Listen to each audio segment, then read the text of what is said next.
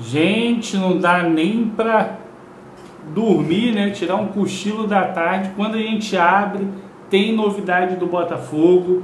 E essa é uma ótima novidade. A gente fica falando muito de camisa 10, né?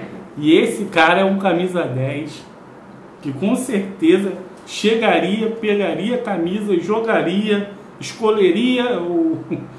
É um cara muito diferenciado e eu gosto muito do futebol dele.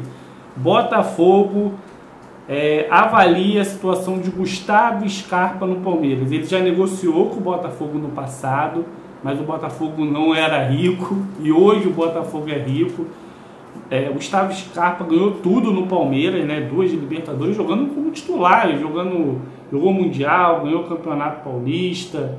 E ele não está querendo renovar no Palmeiras, ele quer sair do Palmeiras ele já acredita que o momento dele passou é, e o Botafogo entra nessa, nessa jogada. Já tinha falado do Vitinho, já ia preparar um conteúdo para falar sobre jogadores do Flamengo que seria útil no Botafogo. A gente vai falar muito sobre isso, mas Gustavo Scarpa eu tive que parar, eu tive que olhar e tive que trazer esse vídeo para vocês, porque é um vídeo realmente que deixa a gente surpreso e para quem não é botafoguense que acompanha, né, ele vê tanto nome bom sendo especulado que ele fala, cara, que, que mundo que a gente vive?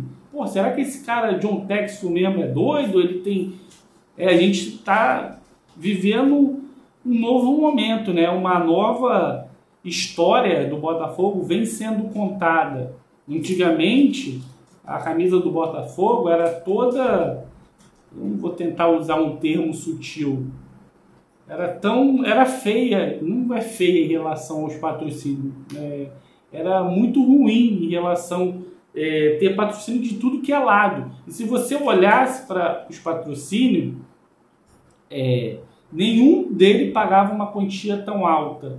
Então até o o, Porta dos Fundos fez uma brincadeira falando de todos os patrocínios que vinha a camisa do Botafogo. E hoje a camisa do Botafogo está maravilhosa, né? Só ela, sem nenhum patrocínio. Ah, Diego, até o cara, o Lédio Carmona fez uma brincadeira. Ah, mas se não tem patrocínio não monetiza.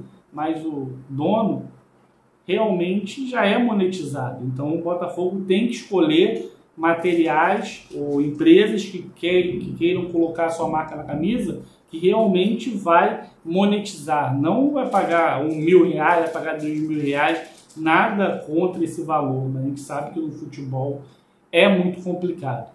É... E é isso. A camisa do Botafogo é linda, a camisa do Botafogo é... é uma camisa que é a mais bonita no meu ponto de vista, não porque eu sou botafoguense, a mais, a mais bonita do futebol brasileiro. E a gente está vivendo esse sonho que eu não quero acordar. Estava sonhando, né? Acordei, já vi o Gustavo Scarpa, vou voltar a dormir de novo. Já vi seu sonho e acordo com mais um jogador. E a gente vai trazendo vários, falando vários, até meia-noite a gente vai trazer muito vídeo, porque esse jogador é um jogador realmente que mexe muito com o mercado do futebol brasileiro. Então é isso, camisa 10 de peso. Esse cara pega a camisa, joga, é um cara realmente muito diferenciado. E é isso. Tamo junto, um abraço.